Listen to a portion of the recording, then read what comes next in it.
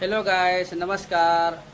आप सभी कैसे हैं? मैं उम्मीद करता हूँ आप सब लोग बहुत अच्छे होंगे और अपने अपने काम में व्यस्त होंगे। तो चलिए दोस्तों हम भी व्यस्त हैं। हम उम्मीद करता हूँ आप सभी लोग हमारे चैनल बने रहेंगे और लाइक करेंगे कमेंट करेंगे सब्सक्राइब करेंगे। जो वीडियो आने वाला होगा सबसे पहले आपके पास आ, आएगा।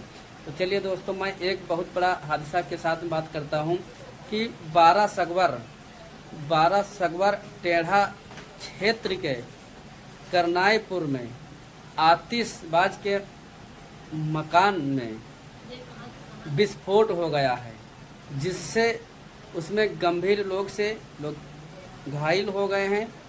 दो लोगों को जिला हॉस्पिटल भेजा गया है। बताया जाता है कि उसमें पटाखा बनाए जा रहे थे। किसी कारण से विस्फोट हो गया था, जिससे दो खंड का मकान दो मंजिल का मकान भी गिर गया है। यानी कि गिरे का मतलब क्या है? जेसीबी से गिराया जा रहा है, जिस प्रकार उसमें लोग दबे हुए हो तो निकल आए।